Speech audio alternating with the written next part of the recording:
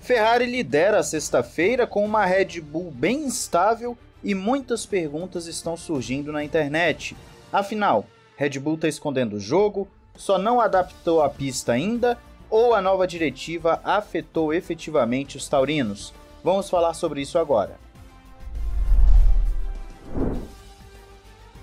Olá, amigo do Ressaca Fórmula 1, seja bem-vindo a mais um vídeo. Eu sou Matheus Pucci e o que está chamando a atenção no treino livre 2 da Fórmula 1, na verdade nos dois treinos livres, não é nem o fato da Ferrari ter liderado, mas sim a diferença e a circunstância dessa liderança que está gerando um certo debate.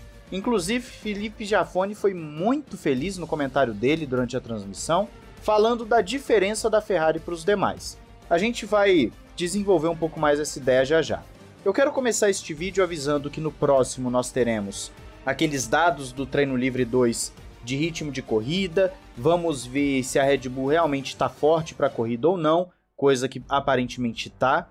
Vamos falar das atualizações dos carros, então Aquelas informações já tradicionais você vai ver no vídeo de mais tarde, não perca o segundo vídeo de hoje. E quero também falar sobre a qualidade da transmissão. Hoje, em especial, estava muito ruim a qualidade de imagem, dando umas desconfiguradas, algumas leves travadas. A imagem parecia estar numa qualidade bem inferior ao normal, e isso não é da Band por si só, porque eu estava vendo também pelo F1 TV e estava dando isso também, ou seja, é um problema lá da Fórmula 1.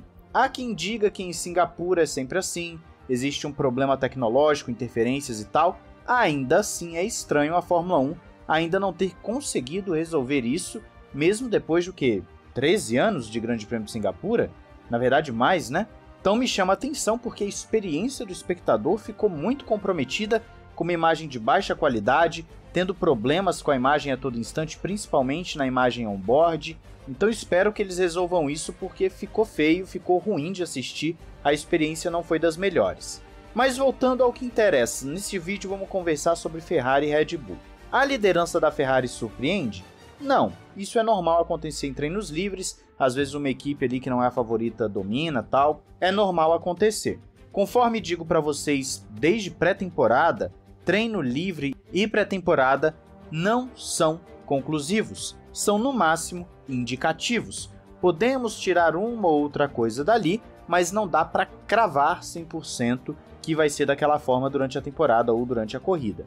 Então o que aconteceu aqui?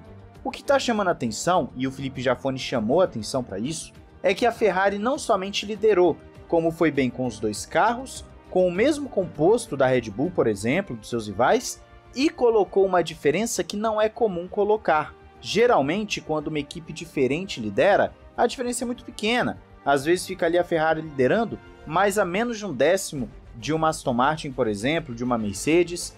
Então é uma diferença muito pequena, que aí você já conclui o que? A Red Bull está dando uma segurada, está fazendo outros testes, está escondendo o jogo, e até aí tudo bem. Só que o que aconteceu nesta sexta-feira é uma Red Bull sofrendo demais com a traseira, os pilotos reclamando constantemente, um Max Verstappen que já havia avisado, nós citamos isso aqui em vídeo, que essa é uma pista que não faz muito bem para o carro da Red Bull, eles não conseguem desempenhar tão bem, eles na verdade não têm expectativa de um grande resultado, a diferença para o pelotão deve ser menor, e isso é uma exclusividade desse regulamento 2022 para cá do carro da Red Bull, porque antes disso a Red Bull era muito forte em Singapura, então o Verstappen já estava avisando que o carro não estaria no seu melhor nessa pista de Marina Bay. Por outro lado, nós temos algumas questões curiosas, como por exemplo, há uma mudança de layout, que inclusive deixou a pista aí coisa de 10 segundos mais rápida, há uma nova diretiva que está também entrando em vigor e há também as atualizações das rivais, por mais que as rivais diretas ali como Mercedes e Ferrari não tenham levado grandes atualizações para esse grande prêmio. Nós vamos falar sobre isso no próximo vídeo. A McLaren é que talvez seja a equipe a ficar mais de olho nesse aspecto. É muito cedo ainda para falar que a diretiva causou algum impacto, porque nós não sabemos o que cada equipe necessariamente mudou por conta da diretiva. E esse é o detalhe principal. Nós não sabemos, pelo menos até agora, o que cada uma das principais equipes fizeram em relação à diretiva, se elas foram afetadas ou não. as grandes falaram que não seriam afetadas, mas aí depois já teve informação falando que Red Bull, Mercedes iam ter que mudar alguma coisa tal. Então fica difícil afirmar qualquer coisa nesse sentido agora. Mas o combo, mudança de layout, pista de Singapura que talvez não ajude tanto essa Red Bull de 2022 para cá, diretiva, talvez o combo possa dar um brilho nessa corrida de Singapura. Significa então que a Red Bull vai ser ameaçada em todas as corridas? Duvido muito. Acho assim extremamente difícil disso acontecer. O mais provável é que a Red Bull tenha uma corrida ainda onde ande na frente, só que com uma distância menor para os seus rivais, talvez com o Sérgio Pérez sendo mais ameaçado. Se você for olhar o tempo final do treino livre 2, o Pérez até ficou à frente do Verstappen, só que 7 décimos, 6 décimos atrás da Ferrari do Carlos Sainz, que foi a primeira colocada. Não é comum da Red Bull ficar tão mal assim no treino livre, porque o treino não foi ruim só no tempo, o treino foi ruim no acerto, foi ruim no feedback dos pilotos, foi ruim no guiar o carro. Esse foi o maior problema da Red Bull, um carro completamente instável na traseira que gera um alarde sim para os fãs, para a equipe, para os pilotos. Só que qual seria então o contraponto disso tudo? Apenas uma Red Bull que está tentando achar o melhor acerto e no ritmo de corrida está tão forte quanto qualquer outra. Pelo menos é o que está sendo dito nos principais portais e também o Giafone passou essa informação. Como disse, vamos ver isso com mais calma, com mais detalhes no próximo vídeo, com dados mais concretos. Então pode ser que o problema da Red Bull esteja apenas na volta rápida e na corrida eles consigam desempenhar melhor o que era um calcanhar de Aquiles da Red Bull, por exemplo, no final de 2021 e acabou se tornando um trunfo em 2022. O ritmo de corrida passou a ser uma prioridade para os taurinos. Em contrapartida, nós temos uma Ferrari que está apresentando uma evolução. Passou a temporada inteira brigando ali com a Mercedes, com a Aston Martin, às vezes ficou como quarta força do campeonato. Citamos isso há algumas corridas antes das férias. Só que agora a Ferrari parece que está compreendendo melhor o seu pacote, que é justamente aquilo que o Frederico Vasseur havia citado, que eles estariam buscando compreender o pacote ao invés de trazer grandes atualizações. Até porque esse carro não tem motivo para você atualizar de forma robusta, sendo que o de 2024 vai ser uma reformulação na Ferrari. Você não vai aproveitar o carro de 23. Então não faz muito sentido. Mas nesse caso, a Ferrari parece estar tá compreendendo melhor sim o seu pacote. Em Monza fez uma boa corrida dentro daquilo que era esperado, tendo uma Red Bull muito superior.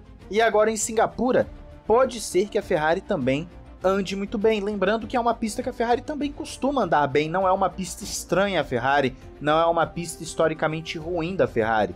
Eles tendem a andar bem aí. Por isso, eu tô com uma certa expectativa de uma corrida equilibrada, de uma corrida onde a Red Bull talvez seja verdadeiramente ameaçada pela Ferrari por essa evolução dos vermelhos e por essa dificuldade dos taurinos com essa pista em específico. Eu ainda acho muito cedo para falar que a temporada então, nossa, vai mudar de cara, mas claro, a expectativa, ou melhor, a esperança é sempre que você tenha disputa. Ah, o Verstappen vai vencer todas as corridas daqui para frente. OK. Sendo com disputa, eu não vejo problema um piloto ou uma equipe vencer. Já falo isso aqui desde 2018. O problema não é simplesmente o domínio, o problema é você não ter a disputa por si só. E agora em Singapura, talvez a gente tenha uma corrida legal, pelo menos eu espero isso, nessa impressão inicial de sexta-feira. Quero saber a sua opinião sobre Red Bull e Ferrari. Lembrando, mais uma vez, mais tarde teremos o vídeo com dados mais concretos. Também te convido a comprar o seu Mortal Kombat 1, que está lançando agora essa semana. Também os outros jogos e gift cards lá na Instant Gaming pelo link do canal. Você ajuda muito a gente e ainda economiza uma grana. Um grande abraço, valeu e falou!